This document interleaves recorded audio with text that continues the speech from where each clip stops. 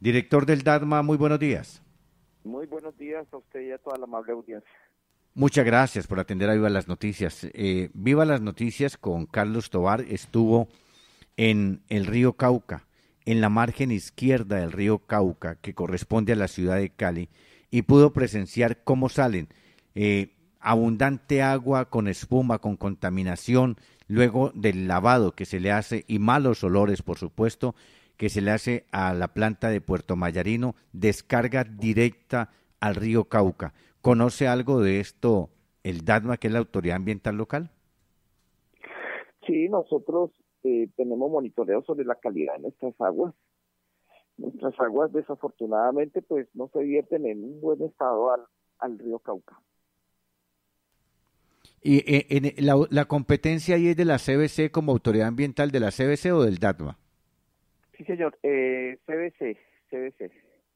Sí, ya lo hemos explicado aquí, director, y usted me corrige si estamos equivocados. DATMA es autoridad ambiental local, pero por formar parte del gobierno municipal de igual de las empresas municipales y por el río Cauca tener competencia en la CBC, ¿eso le toca a la CBC adelantar los operativos y los controles?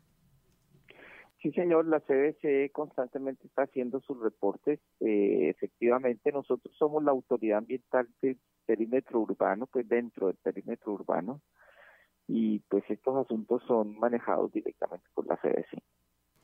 Eh, director, pero ya usted como ambientalista, eh, ¿Le preocupa esta situación de esa carga contaminante, esa descarga contaminante que hacen desde Puerto Mayarino, desde la planta de Puerto Mayarino al río? Sí, pues este es el resultado de toda pues la digestión metabólica de la ciudad urbana.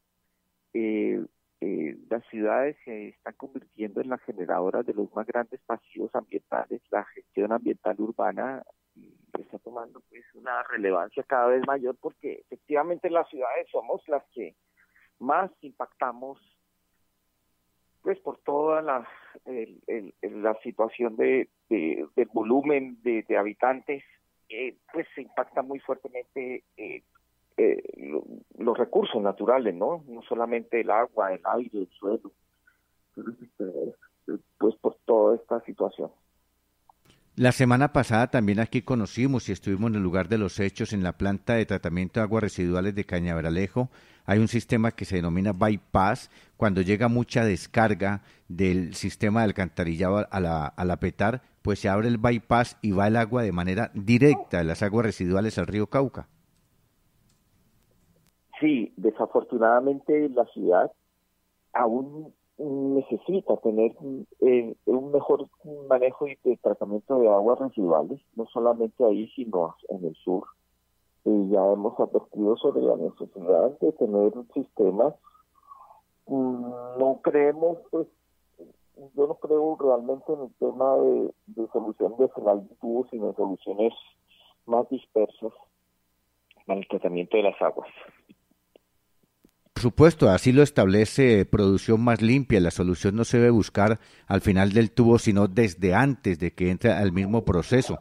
Y en ese sentido, en el año en el año 2005 el DATMA hizo un trabajo con empresas, especialmente de la ciudad de Cali, ante las descargas de contaminantes al sistema de alcantarillado y se evidenció después de una caracterización que se realizó a el canal CBC Sur desde como centro hasta la llegada a Navarro y la carga contaminante con metales pesados y trazas de derivados de petróleo altísimos.